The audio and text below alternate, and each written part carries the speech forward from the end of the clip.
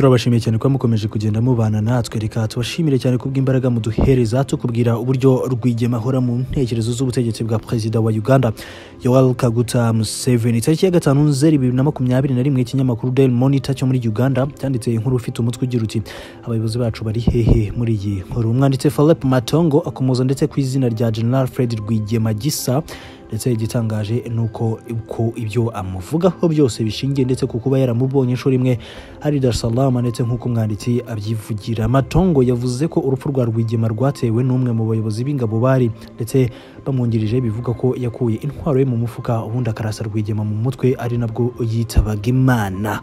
Reka dukomeze kugenda tukugezaho aya makuru dukesha igihe com ndetse mu yandi magambo uyu mwanditsi akwirakwiza ibihuha kuko akoresha imvugo y'uko ibyo yavuze ari ibivugwa n'abandi ariko we atabihagazeho. Ikigaragara ni uko intego ndetse y'inkuru ndetse ari gukomeza kwamamaza igitabo cya macero ranga. Reka tukubwire ko cyuzuyemo icengezamatwara rya rnc n'ingoma ya yoweri kaguta museveni perezida wa uganda. Ibi ariko ndetse ntibitangaje cyane kuko iki gitabo gikubiyemo imvugo zakwirakwijwe n'inzego z'ubutasi za perezida museveni cmi ndetse ku bufatanye n'abayoboke b'umutwe w'iterabwoba wa rnc bigakorwa ndetse hatitawe ndetse ku bihamya bigaragaza ukuri ndetse biri ahantu hatandukanye. Cmi reka tukubwire ko ryifashisha ingero z'abantu batandukanye ndetse z'abantu ubutegetsi bwa perezida wa uganda yoweri kaguta museveni bwishe mu rugamba rwo kubohora igihugu.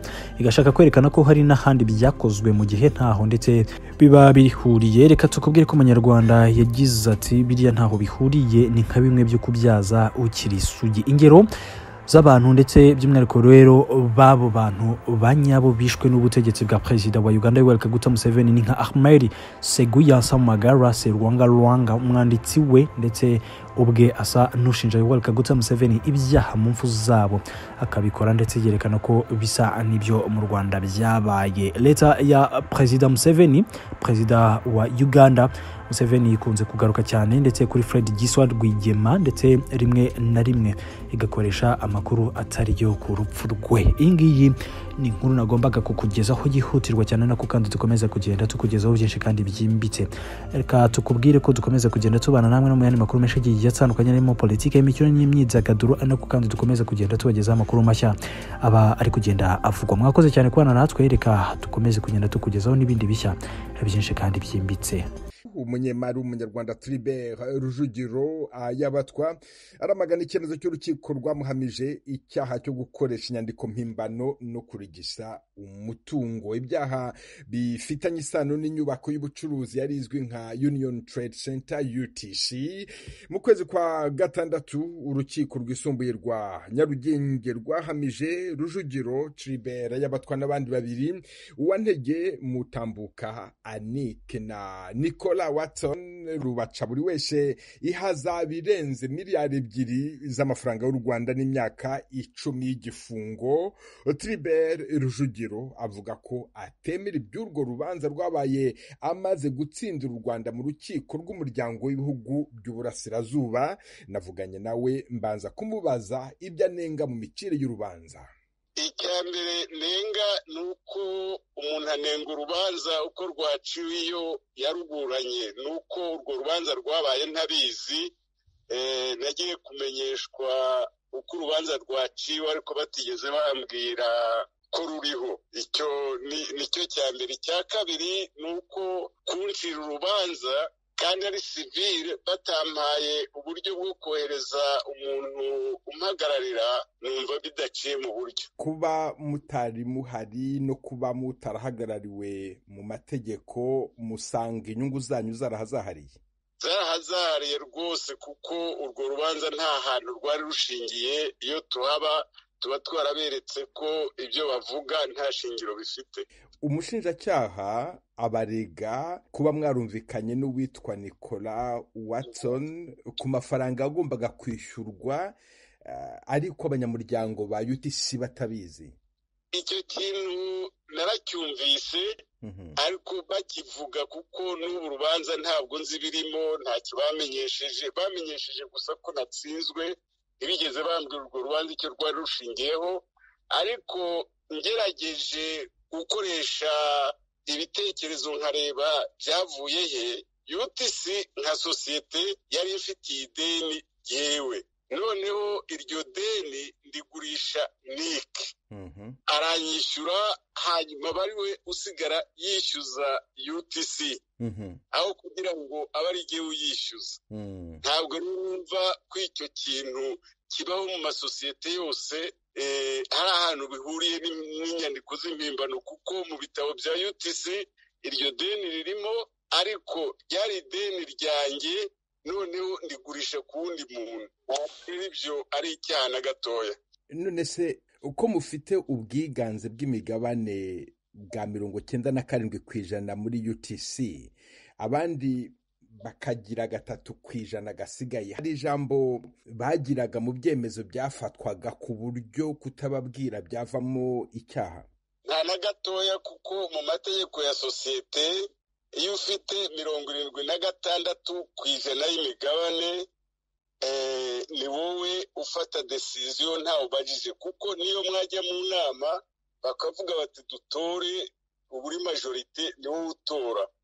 Urumva rero no kubahamagara ni nko gutesha umwanya.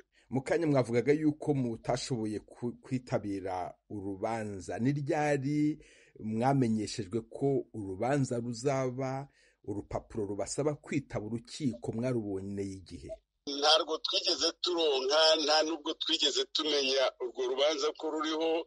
Icyo twamenye ni iriya karatasi kuko bayimanitse ahantu bavuga ngo ntibaze aho mba bayimanika ahantu noneho umuntu arayinyoherereza. Ntabwo nzi ibyo by'urubanza niba hari aho bari barabimanitse cyangwa batarabimanitse ariko ntabyo nari nzi. Ko mwagiye mu rukiko rw'umuryango w'ibihugu by'uburasirazuba mu karega leta y'u rwanda kubera kiriya kibazo cya utc ndetse urukiko rukemeza ko mutsinze. Ibyo mwatsindiye mwarabihawe? Nta na gatoya kandi noneho ntabwo twarashimiye urukiko rwa east africa guca urubanza rukerekana yuko twarenganye. Ariko uburyo baturenganuye ntabwo twabwemeye kuko bavuze ngo bazaduha amafaranga ya utc yagurishijwe kandi twebwe tutemera kuyigurisha. Ubu rero twarajuriye dusaba yuko bahindura ahubwo bakadusubiza ibyacu aho kuduha amafaranga yo kugurisha kuko no kugurisha na byo bari berekanye mu rubanza yuko bitakurikije amategeko bitagombaga kubaho. Ubu rero mukaba mutegereje yuko urukiko rw'umuryango w'ibihugu by'uburasirazuba bwongera gufata icyemezo. Rero uzasubiramo nko mu kwezi kwa cumi na kumwe icyo gihe rero bazatubwira icyo bemeje. Bwana Tribert rujugiro aya batwa ndabashimiye cyane ku bw'aka kanya mwahaye ijwi ry'amerika. Murakoze venusti mugire umunsi mwiza. Ijwi ry'amerika yagerageje kuvugana n'umuvugizi w'inkiko mu rwanda harrison mutabazi. Duhura n'ibibazo by'ikoranabuhanga. Iyo tumubona twari kumubaza bimwe mu bikemangwa na Tribert rujugiro ayabatwa mu mikirize y'urubanza rufitanye isano na utc ntibidushobokera harrison mutabaji umuvugizi w'inkiko mu rwanda muzamwumva mu biganiro. Bitaha. Tukivuga ku butabera mu rwanda. Kuri uyu wa kane radiyo ijwi ry'amerika yabagejejeho inkuru ivuga ku itabwa muri yombi ry'umunyapolitiki akaba n'umusheshenguzi christopher kayumba. Urwego rw'ubugenzacyaha mu rwanda rib ruratangaza ko rwafunze kayumba rumukekaho ibyaha byo guhohotera abagore abakoresha imibonano mpuzabitsina ku gahato. Mu kiganiro cyihariye kiri murangira uvugira urwego rib yagiranye n'ijwi ry'amerika dusobanuriye birambuye ku mpamvu bahisemo gufunga kayumba. Yaganiriye na mugenzi wacu i kigali mu rwanda eric bagira ubusa.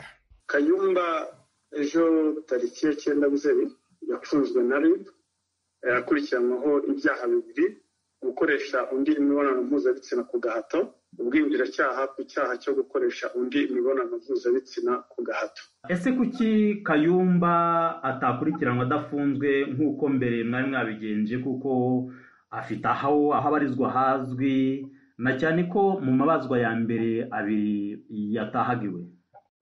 Ingingo ya mirongo itandatu na gatandatu y'itegeko ryerekeye imiburanishirize y'imanza nshinjabyaha isaba umugenzacyaha mu gufata icyemezo cyo gufunga kwita ku mpamvu zaba zirebana imyifatire y'ukekaho icyaha